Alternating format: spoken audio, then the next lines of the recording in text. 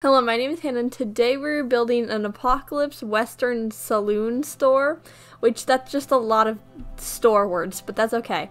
Um, I'm not exactly sure what a saloon is. I know everybody, like, it's a Western saloon, but the Google definition is just, like, building used for generic purposes, so I felt like putting this word store in there, because it's kind of like a grocery store, kind of but there's just a bunch of stuff everywhere. It, it used to be like a grocery store i guess but like now it's just got a bunch of stuff literally everywhere and a bunch of trash and stuff. And you'll see um in you know if you scroll through my you know videos that i've made you will just see a bunch of like times where i will just get into this phase where i make exclusively apocalypse things like two or three videos and then stop in which i don't really know why that is um, it's probably because almost half of the media I consume is apocalypse or like an end of the world kind of stuff, which is kind of weird. I should probably figure that one out, but it's kind of weird. But also, that's kind of tied to like that's also what I like write about or like what I read about sometimes. And so it's a bunch of that stuff. And so this build was basically inspired by a singular post I saw on Pinterest like a good four months ago, but I thought about it again and I was like, I want to do this. And it was basically just like a, like a, I'd say it probably was like a gas station. So it's a little bit different, but it was like an aisle of the gas station where they have like all the food and stuff like that. And it was just like all over the floor and all like open and like thrown about and stuff like that. And I thought it looked like, I don't know if cool is the right word for that, but I thought it was like inspirational. And so I wanted to build something kind of like that. And so you'll see that it's just got like a bunch of like big puddles and like waste stuff and then like boxes everywhere and then a bunch of trash everywhere and it's really dirty and there's just a bunch of stuff everywhere and so you'll see me like mess with the outside of the actual building like a ton because I did not know what I was going to try and do with it. I was trying to do like that boarded up look. It didn't work in the slightest like it looked so ugly so I was like maybe not and so I redid that and I tried to make like the outside of it as like westerny looking because like that's what it was normally look like like before the apocalypse or before the, like the world ended or whatever you're going with for the build and so I was trying to keep that and still like make it look like really run down and stuff and so I, I got rid of like all of like the metal touches and stuff and I basically do a lot of the outside and then redo the building portion of it because I don't I'm not really good at making like buildings that are not houses and so I was really struggling with that. This is not really a store or like not, it's not a house, but it's also like not really like a public area. It's just kind of like a piece of art kind of I guess, if that's what you want to call it. It's kind of like art, and so it's not really anything, but I only ever make this kind of style of just like this, and so I was just kind of trashing it, putting in a bunch of debug stuff everywhere. So there's a bunch of tiles. There's a fridge. I don't know where the fridge came from. You're kind of like on the side of a river next to some quarries, and like it's just like surrounded by rocks. So I don't know where the fridge came from, but that's not important. And so here you can see me um, kind of redoing the area and being like, maybe this is not right. Let's try something else. And this is when it goes like Western Saloon kind of thing, which doesn't really fit with Evergreen Harbor because it's more of like a modern or really industrial stuff. But I felt like it would look kind of normal for like an apocalypse because I feel like most apocalyptic looking things are in like western small towns and I don't that's just kind of weird. That is kind of weird. I've never noticed that I guess I'm just kind of putting it together in my head.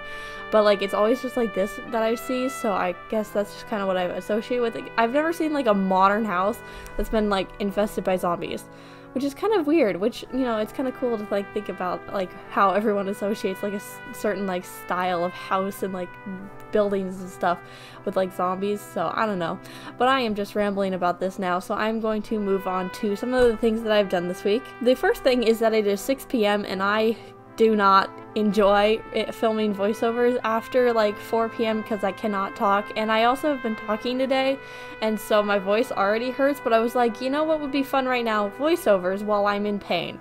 And so it's okay. But I wanted to do these, and so I'm gonna do like two ish right now.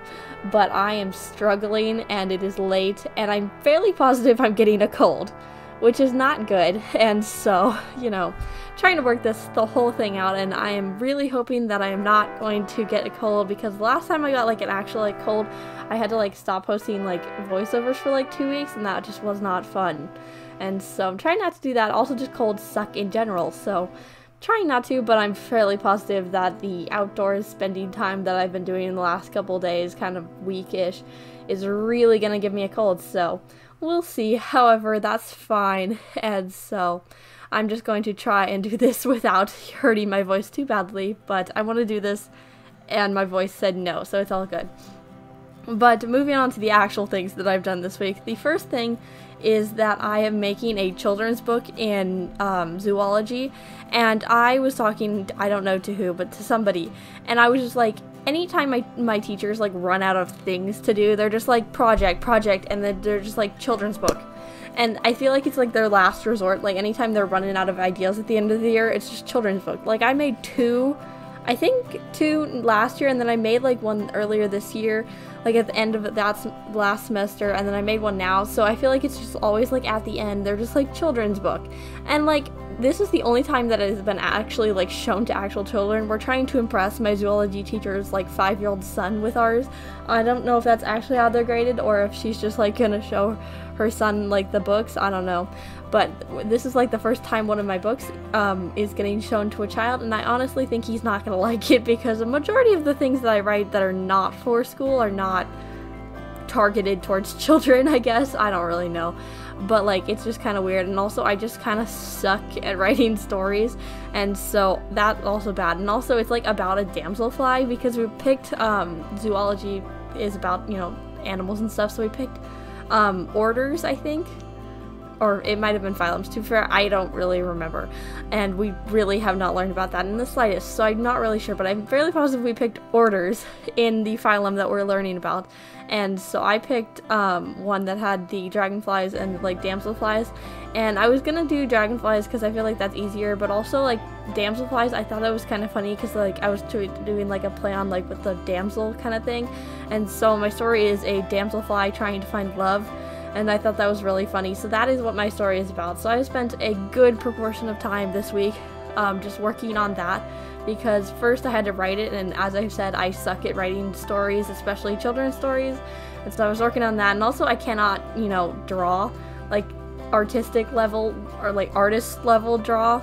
Um, I can like normal person draw and so it's all good but like coloring is really fun for me so I did a lot of that and so it's really fun it's really cute and my damselfly is has found love so it's all good and um, I, I hope the, the kid likes it but to be fair I don't know and I honestly don't think I want to know because like children are kind of harsh with their opinions so it'll be okay but other than that, this week I got my honor roll like certificate. I guess it is. I don't really know. I wouldn't consider it a certificate as it is printed on printer paper.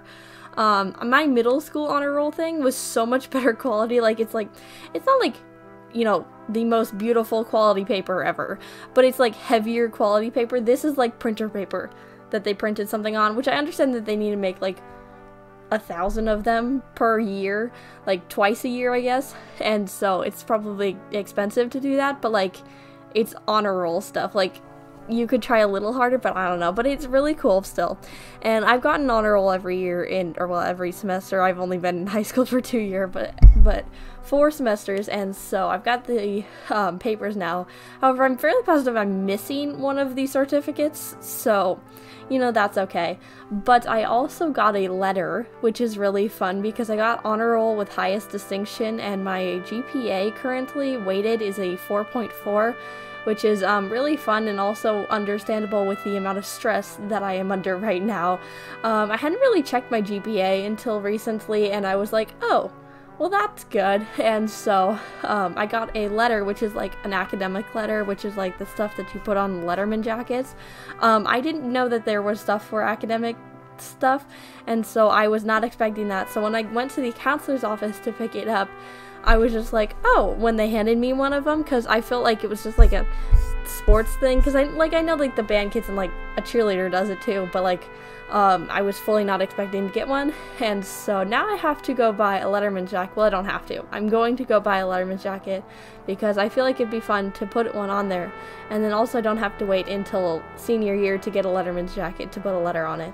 And so I think that's pretty cool, and I'm really excited because it looks really cool, and so I'm excited. My very first letter, and it only took me a bunch of really hard classes to get one, so that's really fun. But to be fair, that compared to four years of cheerleading to get one, you know, I guess it's about the same, but it is really difficult to get an academic letter, so I'm very excited and I'm very happy. And I guess that is about it. So I'm probably going to end the video right about here. So um, subscribe if you did like today's video or if you want to see more like this. But it is almost screenshots time, so I post four videos a week so you can watch another video next time. Bye!